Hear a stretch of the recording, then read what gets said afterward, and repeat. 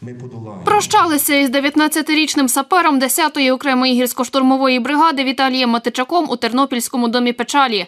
Тут зібралися його побратими, родина, друзі та знайомі. Майор Іван Бондарев каже, познайомився із Віталієм на службі.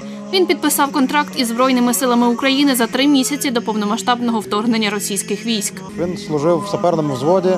Це люди, які проводять розмінування території, які прокладають коридори в цих мінних полях, які облаштовують позиції. Ну, був дуже відповідальний, такий дисциплінований військовослужбовець.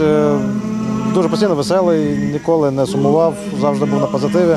Ну і шкода, що коли він загинув, буквально за пару днів перед тим йому виповнилося 19 років. Фактично, це був наймолодший військовослужбовець нашого батальйону. Із дому печалі тіло військового повезли на Миколинецьке кладовище. Там майор Іван Бондарев розповів, як Віталій Матичак загинув. 15 жовтня наші танки мали йти в наступ на село Берестове. Це кордон Луганської Донецької області. Вночі для того, щоб розчистити проходи в мінних загородженнях, висунулася група саперів, в складі якої був Віталій. На жаль, наша група натрапила на ворожий секрет, зав'язалася стрілянина, і Віталій загинув. Поховали Віталія поряд з іншими військовослужбовцями, загиблими у російсько-українській війні. Віддати йому останню шану приїхав голова Збаразької громади Роман Полікровський.